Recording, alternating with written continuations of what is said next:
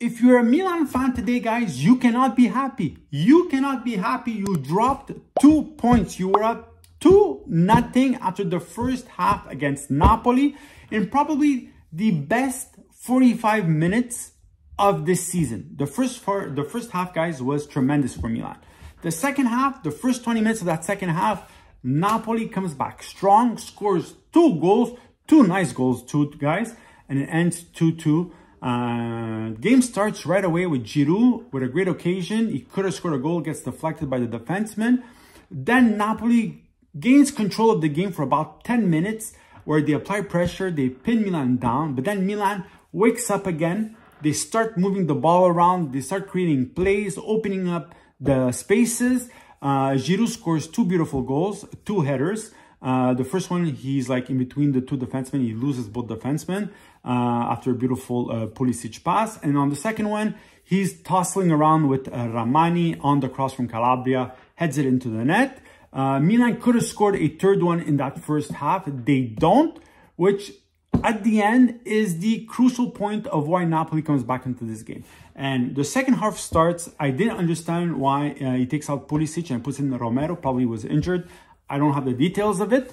Uh, but it, on that right hand side, it was missing something. And Napoli starts off that second half with fire under their asses. I gotta be honest, they were all over the place. They were creating chances all over, pinning Milan down. They couldn't make one good pass. And Politano scores a beautiful goal. First of all, he does the sombrero on Pellegrino. Pellegrino coming in for Kalulu, who got injured.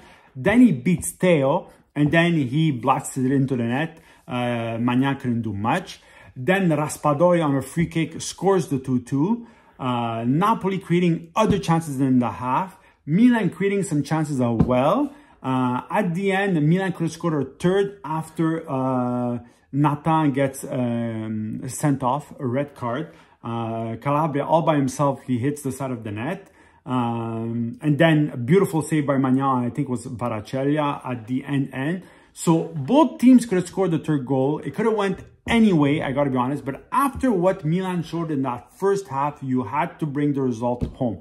Especially after the week you've had, losing against Juve, losing against PSG, all the criticism for Leao, for Pioli, for the attack. Finally, Milan scoring some goals. But Milan's defense this week, guys, gave up six goals. Three against PSG, one against Juve, two today. Uh, wasn't the best. And yes, we have a lot of injuries. Kjaer is injured. Uh, was expelled. Pellegrino now comes in. He didn't look good at all, but he also gets injured. And Kalulu came in for Kjaer gets injured as well.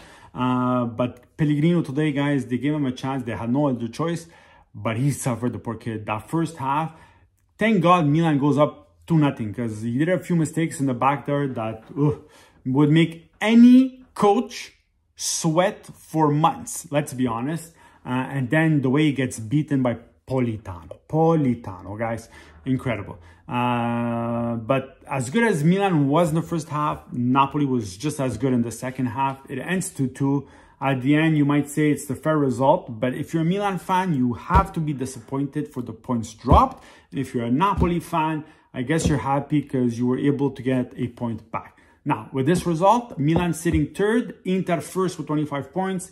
I think Juve with 23, Milan with 22. Uh, then there's Napoli and Fiorentina has to play against Lazio tomorrow. So we'll see where they end up. But like I said, guys, if you're Milan today, you got to be disappointed with this result. Let me know what you think. In the comments, like and subscribe.